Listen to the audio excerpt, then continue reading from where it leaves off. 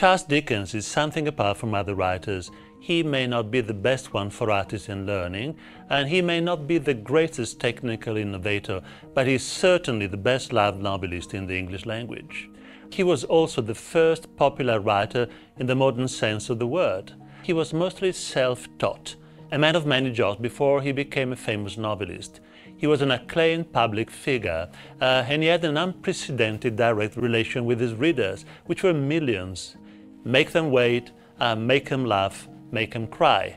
Uh, this was the advice given uh, to Dickens by his fellow novelist and good friend Wilkie Collins. And Dickens did make his readers laugh and cry uh, with stories such as Oliver Twist, Hard Times, David Copperfield, which combine the pathetic with the comic through lively portraits of universal characters and an ability to create dialogue unmatched by any other English writer or novelist.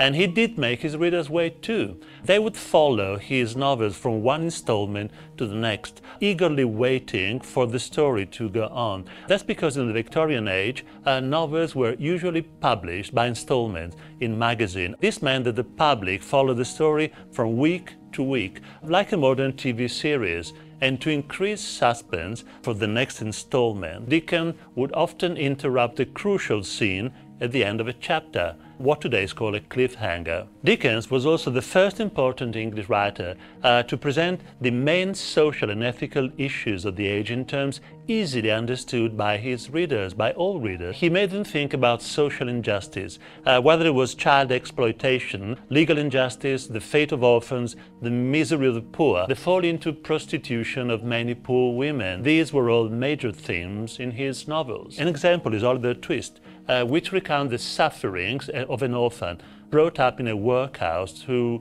who runs away to London and joins a gang of thieves uh, made up of children.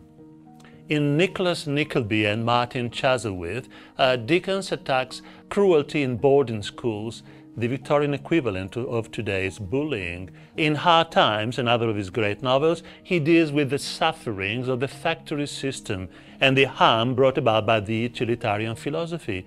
And his writing inspired others, in particular journalists and politicians, to address the social problems he described so vividly.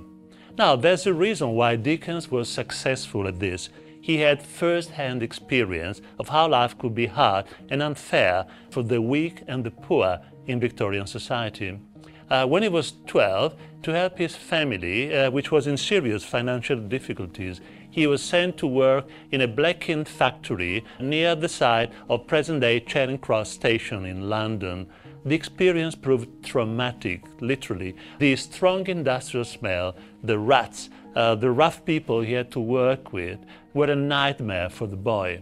Shortly after, his father was sent to the Marshalsea debtors' prison, and Charles' misery was complete. His family was broken up and he was sent to live alone in very poor lodgings, prison, the poor quarters in London, uh, life in the city streets, and the other boys uh, working at the factory remained in Dickens' mind and conscience, and they profoundly influenced his novels.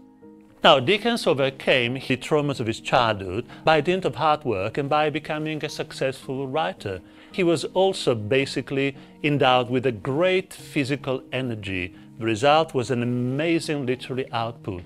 14 major novels, short stories, children's and travel books, essays, speeches, together with philanthropic work. After decades of overwork, however, his health was precarious and he died of a stroke suddenly uh, in June 1870. He's still very much alive though. His characters and their sentences have become proverbial. As for a hungry Oliver Twist, can I ask for more, sir?